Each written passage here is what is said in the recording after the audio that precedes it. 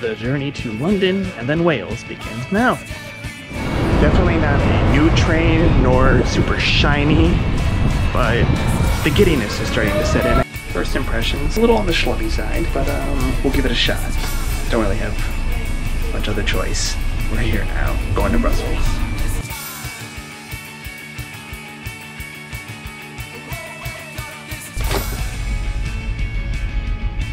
Oofka.